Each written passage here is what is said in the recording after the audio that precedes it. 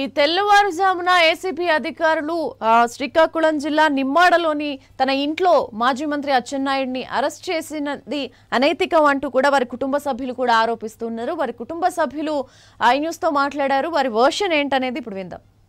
Seven twenty ఆ టైంలో వచ్చారండి వాళ్ళు పోలీసులు వచ్చారు. ఒక పదిహేను వెహికల్స్ ఒక బస్సు ఆర్మీ వచ్చినట్టున్నారు. ఆర్మీ డ్రెస్సెస్లో ఉన్నారు వాళ్ళంతా చాలామంది. మూడు వందల మంది వరకు ఉంటారండి. వాళ్ళు వచ్చి జస్ట్ ఒక వన్స్ వన్ మినిట్ కూడా బయట వెయిట్ చేయలేదండి. గేట్స్ కూడా తీయమని కూడా ఎవరికి చెప్పలేదు. మా వాళ్ళు ఉన్నారు. గెలిచేసి గెంతేసి వచ్చేసారు పైకి వచ్చేసారండి. పైకి వచ్చేసి ఇంకా మేము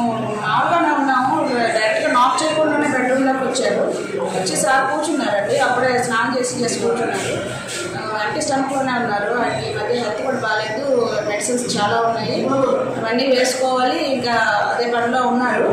ఇంకా వెంటనే within two seconds three seconds రెండు మాటలు కూడా మాట్లాడలేదండి మా వైఫ్ లోపల ఉన్నారు. చెప్పేసి వస్తామని చెప్పారు. అది కూడా వాళ్ళు చెప్ప వద్దు సార్ పదండి అని చెప్పేసి ఇంకా పట్టుకెళ్ళి సార్ ఇప్పుడైంది ఎండనే అయింది.